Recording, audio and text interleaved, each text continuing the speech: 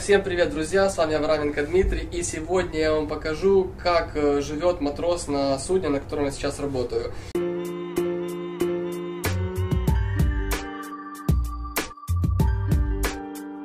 Свою каюту я уже вам показал, поэтому есть чем сравнить. И, ну, в принципе, что сказать, э, как бы для меня каюта сейчас матроса это просто идеальная идеальные условия для сравнения, допустим, в которой я жил, когда был матросом.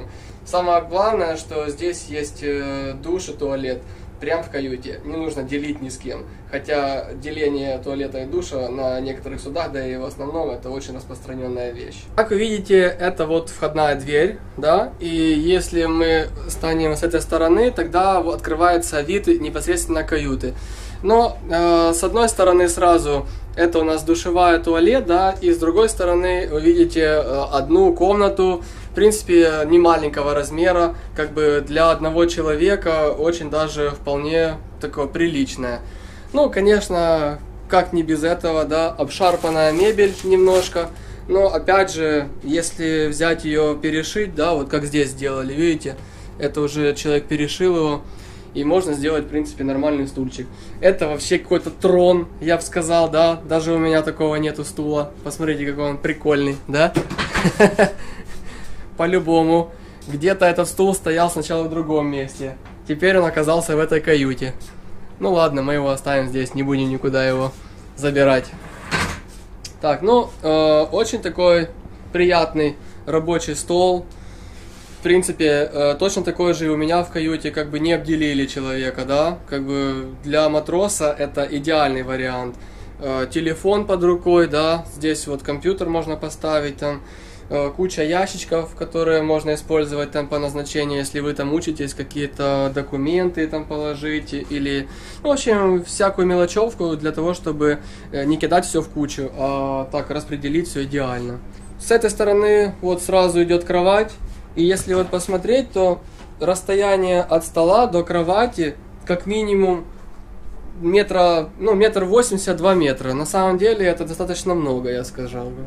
Потому что раньше я как бы был на судне, где э, в таких вот каютах этот стол бы стоял бы где-то вот здесь, и до кровати было бы, ну, буквально там полметра. А здесь, в принципе, я же говорю, что можно и какими-то там физическими упражнениями позаниматься, да, там и отжиматься можно, да, и там и пресс покачать такое.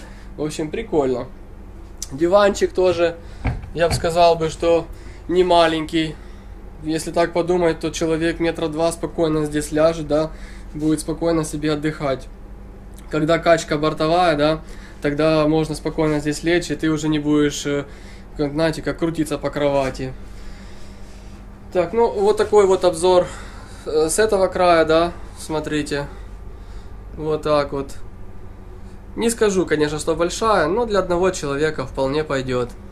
Освещение тоже, да, все хватает, э, две лампы дневного света, э, кондиционер э, или же дуйка, да, горячего воздуха. Если зима придет, уже немножко похолодает и будет уже хорошо. Запас воды, я не знаю, здесь на месяцы, на месяцы. Вода, кстати, это бесплатная выдается на судне по стандартам MLC. Каждый месяц они обязаны нам предоставить один пак воды, э, то есть на полмесяца один пак воды, допустим, да, или два пака на месяц, или сейчас какие-то там новые стандарты, может быть даже один литр в день. Это нужно там читать, узнавать. Какой-то вон э, вентилятор, да, еще стоит там, или это дуйка, бог его знает. Ну, скорее всего, дуйка, потому что уже так не очень тепло на палубе, поэтому скажу, что дуйка не помешает. Так, вот здесь, во, -о ничего себе, тут именно как уже как в танке. Закрытый иллюминатор с маленьким окошком. Что это? Зачем? Прикольно. Вот видите, какой у нас матрос изобретательный, да? Сделал себе маленькое окошко и подглядывает, что там происходит. Блин, так тут такой крутой вид, смотрите, да? Сразу с иллюминатора видно полностью вот трюм. Такой красивый обзор. Мы до сих пор стоим на якоре, поэтому сейчас вот э, такой закатик красивый, можно понаблюдать. общем, бог с этим закатиком. У нас сейчас обзор каюты.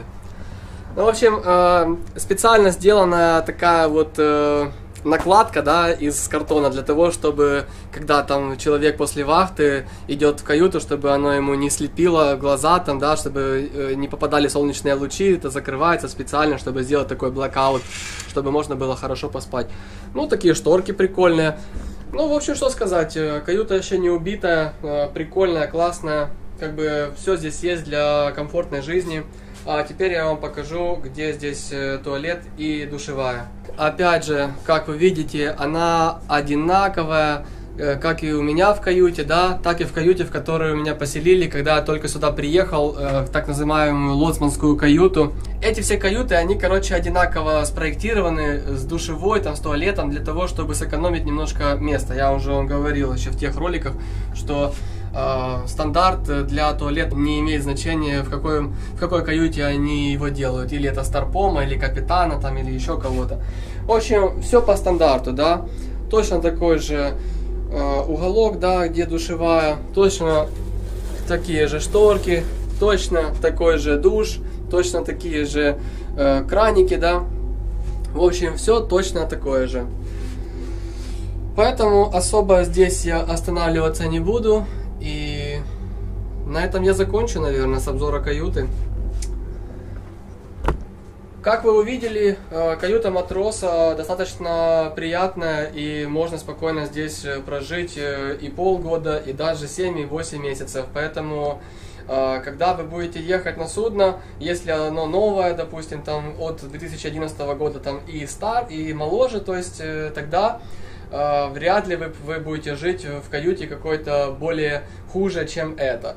Э, я думаю, что сейчас уже все суда, вот, которые 2011-2012 год, они уже все спроектированы по стандарту какому-то, да, и каюты сейчас уже делают немножко больше и стараются людей уже отселять не по двое, не по трое, да, а по одному, потому как уже экипажи сокращенные. Ну и как бы, чтобы человеку хоть какой-то сделать э, комфорт, конечно, уже нужно всех селить по одному. А, если, конечно же, ты смотришь этот видеоролик и еще не подписан на мой канал, пожалуйста, клацай subscribe или подписаться, ставь лайк. Вопросы какие-то возникают, пиши под видео в комментариях. Ну а на сегодня все, ребята. Всем удачи, всем пока. Это офицерская столовая на нашем судне. Видите, кастрюльки.